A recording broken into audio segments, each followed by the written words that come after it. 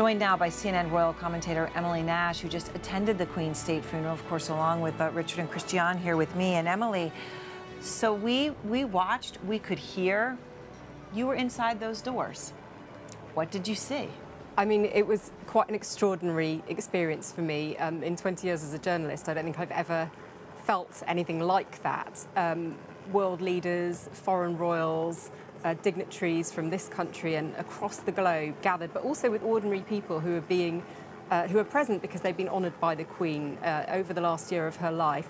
And I think what was amazing about it was that everyone was unified and came together and, and fell silent for her. There was absolute silence when the last post was sounded, um, both inside and out, and that's really extraordinary mm. in a congregation of 2,000 people. Um, just every moment of it was exceptionally special. What was it like? I know it's got to be hard to describe, but to be in Westminster Abbey with more than 2,000 people and then to have utter silence descend.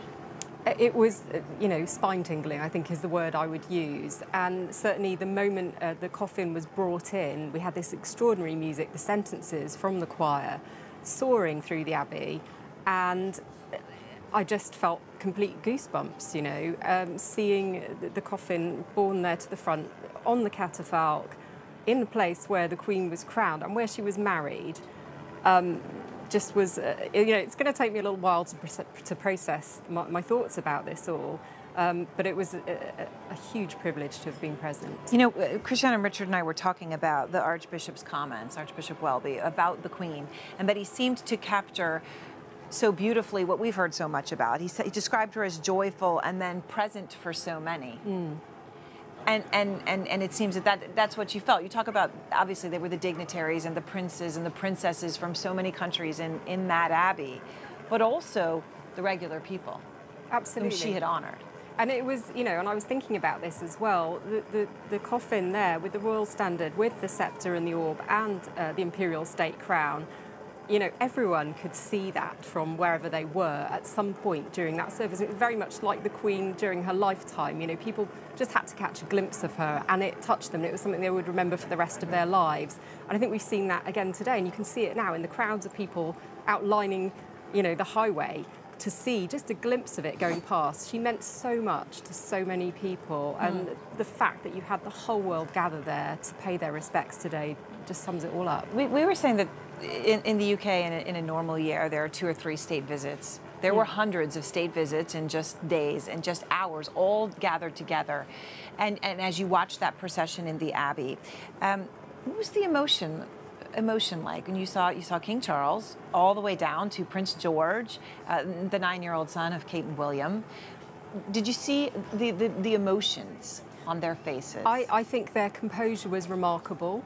I think um, the children in particular are extremely well behaved. I thought that it was a very difficult moment for all of them, particularly as they were walking in procession behind the coffin. Um, it must have taken great courage to do that, as we, we've seen them on display over the course of the last 10 days, and um, they have managed to contain their emotions uh, exceptionally well. Um, but nevertheless, it, it, appears to have been very difficult. I thought particularly the King, as "God Save the King" rang out around the Abbey. Yes, that was a did, huge what, moment for him. Did, what was what was watching his face? How did he? Could you see any of his internal emotions as they played that at that moment? He he just looked incredibly pensive, very solemn. And, and, I'm sure he was just thinking, you know, my goodness, he has sat in that place so many times over the years and sung God Save the Queen to his mother, and suddenly the congregation is singing it for him, and she is no longer there. And that is a huge moment in his life. It's, it's a moment, eh, Richard, that when he realized. I, obviously, you know, there's, there's, there's the exhaustion and the process, and they've known this was going to happen, but then it happens, and there are still moments as a human being, right? And that is what I think many of us are still uh, coming to terms with as, as, as British and uh, citizens here. That, that moment we knew she was it couldn't last forever. But now, oh, it's happened. And, and to, to your point about the king, he, he summed it up, the weight of history. That, it's worth remembering. It's obvious, I know, but it's worth remembering that these people, 15, 20 deep, watching this procession, they're there voluntarily. They're there because they've made an individual decision. You know, in some countries where you bus them in, there was no need to here by the hundreds of thousands people are on the street by their choice. Richard, you said something a few moments ago when we, we weren't, um, you know, on air, but you said that had you not been working, oh. You would have been there. Oh, it's not an if or, uh, an if or a possibility, it's a, it's a when. If I'd not been working this week, uh, I would absolutely have slept on the streets, as I did for the wedding of Charles and Diana, for Diana's funeral, but since then I've been working on these royal events, but no question about it. For me, it would have been mm. the only place to be. The only place to be, uh, just uh, the beloved figure.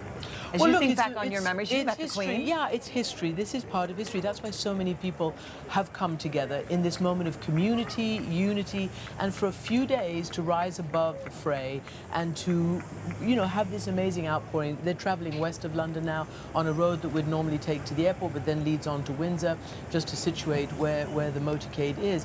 Um, but, you know, one thing we learned, didn't we, Erin, um, that the piper at the end of the funeral. Oh, this is lovely. At yes. the end of the funeral mass inside inside the abbey was the same piper who woke her up every morning at 7:15. We're told, playing the pipes under her window for some 15 minutes. I think that's a remarkable thing. And then I think, as, as Kate Williams alluded to, this queen once said to her people and to her troops, I am not the kind of, of, monarch who can direct you into war or pass legislation, but what I can give you is my love and my service. And, and it, you know, she's going to be buried in St. George's Chapel, where we've just heard Henry VIII is buried. His daughter became the first great Elizabethan, who once famously said, when she was seeing off her troops into battle, you know, I may have the body of a weak and feeble woman, but I have the heart and stomach of a king, and a king of England at that. And it's, it's remarkable that this second Elizabeth mm -hmm. was mm-hmm. able, in some way, to also have that power just by the majesty and the and the, mm. the unity that she brought, even though it's not governing power. It, and Christiane, you also, as I, I, mentioned briefly, but tell us about meeting the Queen.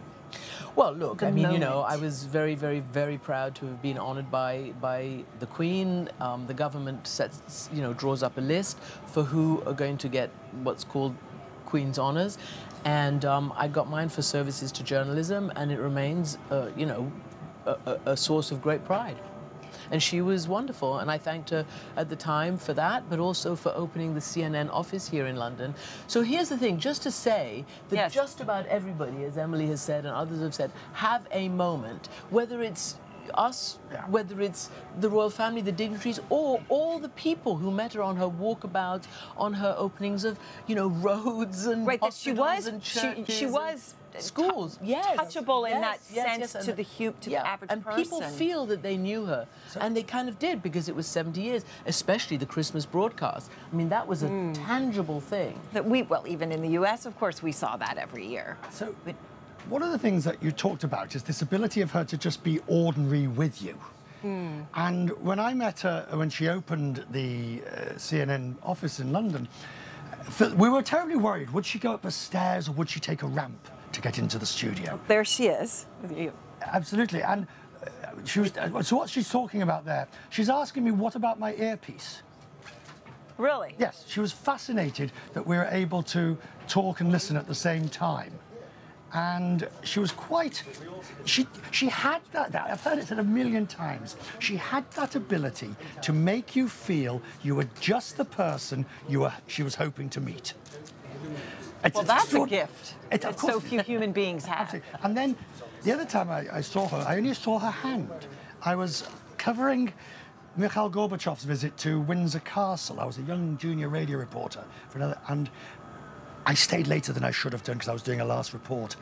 And I was in the attic and I walked downstairs. I thought I'll have a quick look round. And then I suddenly realised in front of me there was a footman, a butler holding a tray with a glass, and out came the hand, and I could hear the Queen's voice saying thank you. And I just backed off quickly before I got arrested.